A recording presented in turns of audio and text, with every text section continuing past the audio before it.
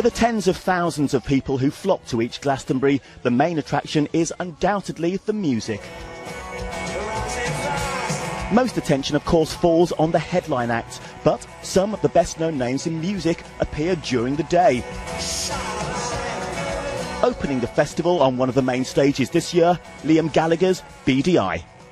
Liam, of course, has a long history with the festival. He's headlined here twice in the past with Oasis, and in this association, is continuing with his new band. Backstage, straight off stage, he was full of nothing but praise for the festival. What was it like out there, opening up? I've loved it, man. It was one of the best gigs I've ever been involved in, as far as I'm concerned. I like it, man. Um, it's the best festival in the world, isn't it? I guess you know what I mean. It's in England. We did we did it with Oasis a few years back. Spirit, spiritual, man. It's got a vibe. Elsewhere, the technical teams have been busy rehearsing the sound and especially the light.